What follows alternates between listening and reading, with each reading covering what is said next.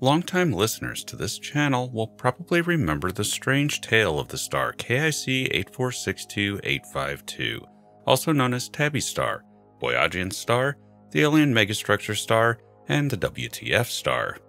For much of 2016 and 2017, this star was on the table as a candidate for an alien technosignature because the Kepler light curve taken of the star was consistent with what you might expect to see from such a structure. It was only ever a long shot. I said in my first video ever on this channel that it was likely to be natural, but it was an interesting case nonetheless. We now know that the behavior of that particular star is unlikely to be due to anything alien, but rather some odd situation regarding very fine dust in orbit of the star, and other examples somewhat similar to this have since been found, though it's still not entirely clear how the dust came to behave as it seems to. The way this was determined was to examine the star's spectrum and see exactly what wavelengths of light were being absorbed. Or, had it been a megastructure, then all wavelengths would be blocked as expected from a solid object. As it turns out, in measurements of the absorbed wavelengths, the absorption of blue light versus red were consistent with extremely fine dust, probably in orbit and very cold around KIC 8462852 taking it off the table as a serious contender for something of alien origin. But now we have a situation that's a bit different with a different star, in that it is blocking out light more consistent with a solid object, and it's doing something far weirder than anything Tabby Star did. This is the case of the star Triple V WIT 08, with WIT standing for What is this? In a paper by Leigh Smith and colleagues linked below, they detail that during the first half of 2012, the star saw a dramatic drop in brightness to the tune of 97% blockage. This is interesting. In the case of Tabby's star, the largest observed drop in the Kepler data for the star was about 22%. That was huge enough, but to go to 97%, we'd be dealing with something blocking the star's light that is much, much larger than the star itself. The Triple V WIT-08 system is very distant, about 25,000 light years away, meaning that whatever happened at this star happened 25,000 years ago, when humans were very primitive. The days of hunting and gathering, cave paintings, and no agriculture. The system is located in the constellation Sagittarius, though observed from the southern hemisphere at the Vista telescope in Chile's Atacama Desert. This places the system significantly nearer to the center of the galaxy than we are, perhaps in the galactic bulge itself. That has been advanced within SETI as a good place to look for technosignatures. The star in question is an old giant star about 100 times the size of the Sun, but cooler. This is not a young star and does not have a protoplanetary disk as such, nor is it near a star forming region, so dust on that level isn't really all that likely here making the whole thing even more mysterious. The occlusion or eclipsing of this star was seen only once in 2012, while the star itself has been observed for many years, as much as 17 years of data are known. That would mean that whatever the object is, it's on a long period orbit, and it's anyone's guess when it might be seen again, though the best guess right now is that it could be centuries before it passes by again. Now here's where things get spooky. With Tabby Star, an alien origin was on the table due to the initial data being a bizarre light curve taken by the Kepler spacecraft, which was a photometer measuring the levels of light coming from stars looking for dips, indicative of exoplanets passing in front of their host stars. Later, infrared data which was taken showed no excess, meaning that whatever the dust is, it's cold. That's still a mystery, but where the alien origin option for that star faltered is when Boyajian and team took more measurements and saw how light was being absorbed unevenly by the material, which soundly indicated very small particulate matter, very fine dust, in fact, finer than smoke. Had the light been blocked entirely, then it would have remained consistent with a gigantic alien megastructure, and that aspect would have stepped forward.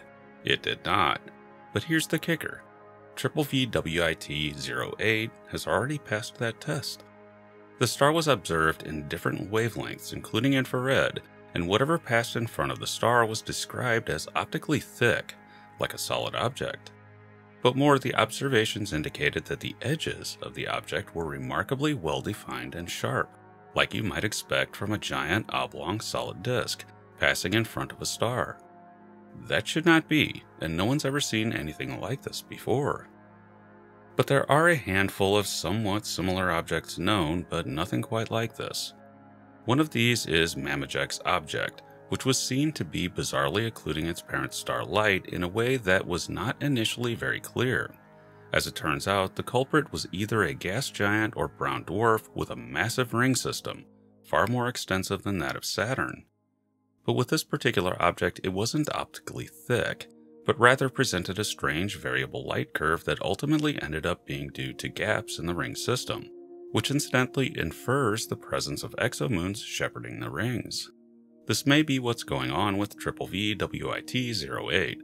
Moonlets can create sharp edges, as happened at Saturn, but at the same time, ring systems don't block out light quite like what's going on with a star. So, if the explanation lies here, then there is more going on than that.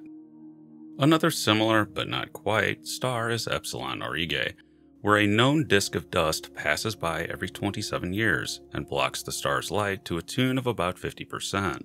But that looks like dust and does not show sharp edges or anything unusual. And then there is, of course, Boyajian star. But the difference there, again, is that one was not optically opaque, whereas Triple V WIT 08 is. Another example that's a bit closer is the star Triple V WIT07, the previous one in the catalog, which is known as the Vista variables in the Via Lactea or Triple V catalog of anomalous stars being compiled by the European Southern Observatory. 07 is more like Tabby star, but not unlike Mamajek star. The similarity with Tabby star shows a light curve that varies considerably and irregularly, but much deeper, up to 80%, making it more like Triple V WIT 08, but not exactly.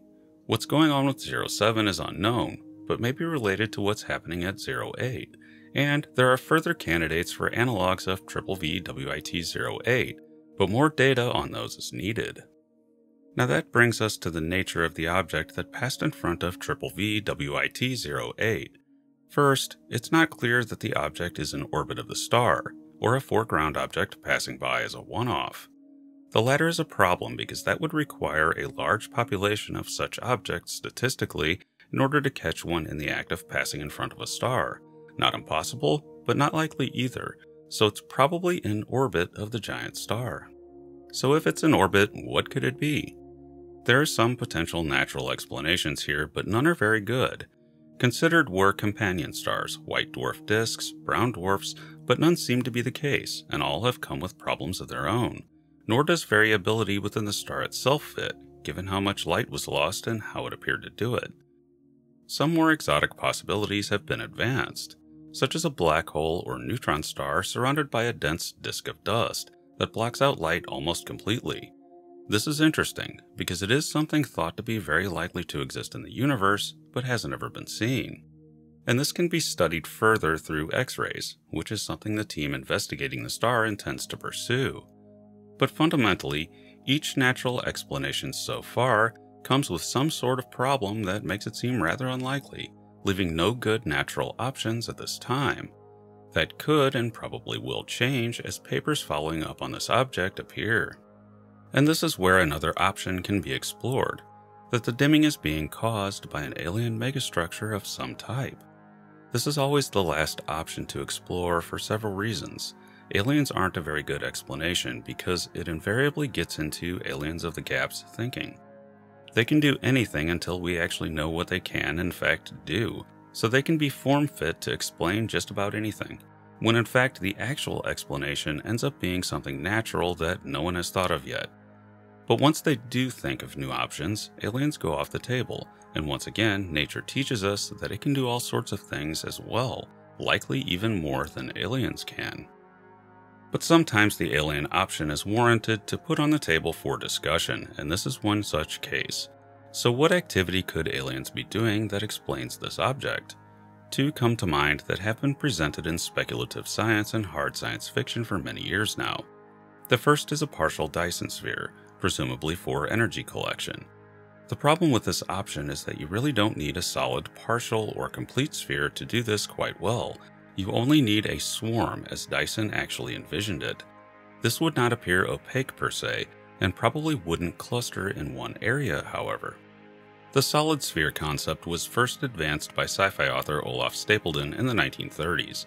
This still remains on the table as a speculative technology, but actually engineering such a thing would be an undertaking beyond anything we could even imagine. And even then, there's no guarantee the universe allows such a thing to be stable and last long term. Another option is a Shkadov thruster, where the star is partly encased in a solid sphere in order to create thrust and move the star around, but that doesn't seem to be consistent with Triple V WIT 08. But that also assumes that we've thought of every megastructure that aliens far more advanced than we are might construct. We probably haven't, but again, aliens of the gaps. So what really needs to be done is more study of this object and the data, and more thought put into it as to what it might be, along with looking for more examples of the phenomenon. And that's where it gets complicated. Indirect data might still be collected on Triple V WIT 08 but direct data, as in watching it transit again, may not be possible again for centuries, meaning that this could be an open technosignature candidate for hundreds of years. But given that whatever occurred at Triple V WIT 08 happened in the distant past, time is not of the essence here. Finding more examples, however, is key. Thanks for listening. I am futurist and science fiction author John Michael Godier, currently musing about what megastructure building aliens might construct that would be so huge. Say we asked them by way of a METI signal, and the response was rather curt. It's our planetary big screen TV. You have those, and they keep getting bigger, and we've got thousands of years on you. Gotta go. We're watching Glorkon wrestle Blorg the Crusher. Oh, well, alright then. And be sure to check out my books at your favorite online book retailer and subscribe to my channels for regular, in depth explorations into the interesting, weird, and unknown aspects of this amazing universe in which we live.